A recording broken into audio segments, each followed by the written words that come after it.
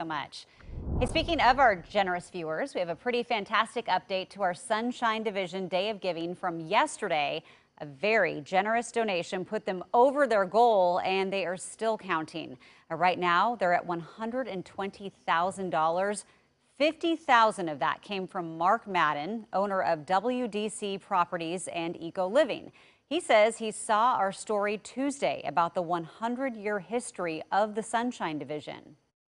I was watching the news segment, um, a KOIN and the, uh, about mayor, um, the mayor and the Sunshine Boys just dropping off food.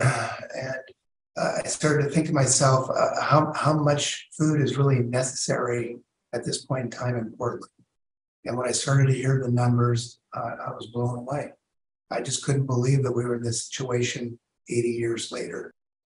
WDC is a development company for affordable apartments. And while Mark has donated to other charities in the past, this is his first donation to Sunshine.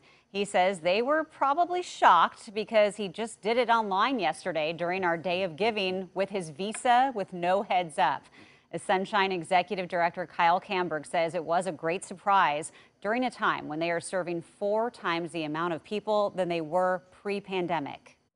When I see gifts like that, it gives me optimism to know that we're going to be able to continue to respond and meet this demand because, frankly, it's a little scary for nonprofits like us. It's so busy and we exist and rely solely on donors. And so when the community steps up, it allows us to step up.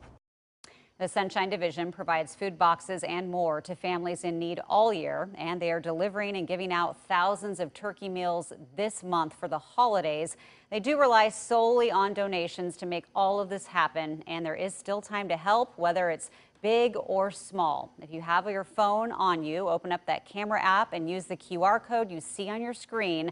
We also have a link on koin.com where you can donate.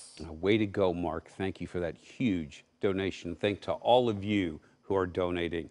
Happening tonight, a holiday tradition.